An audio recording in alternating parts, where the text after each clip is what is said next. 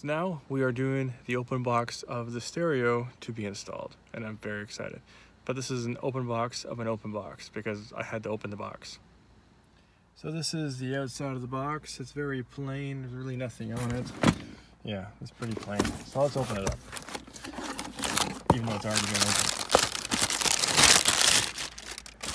So here we have a, a bezel, one in the front. We may or may not need that. Some instructions, we may or not need those. I'm sure these are some tools going on for what is needed.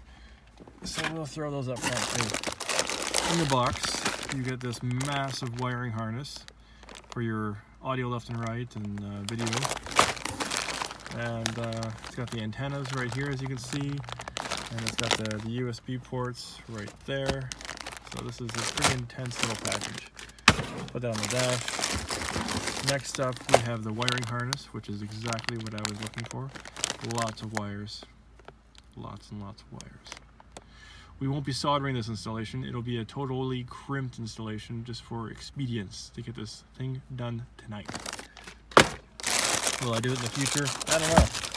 But we'll see how this, uh, I've never done a, a crimp install before because I've always frowned upon them for obvious, obvious reasons vibrations and one coming apart.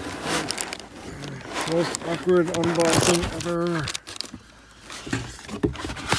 Okay, get that out of the way. Back seat. So it comes with the, uh, the screen, which I will show you momentarily.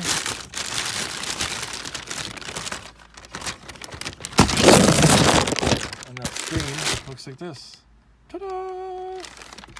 And we will put that somewhere safe for the moment the unit, which is the next thing I need, is this. That's what it looks like from the front. There's obviously the screen attaches to it. And this is the back. So this thing is like a basically like a computer built into your stereo. Love it. So that's it for the unboxing video. Very short and sweet and to the point. Let's get the rest of this install underway.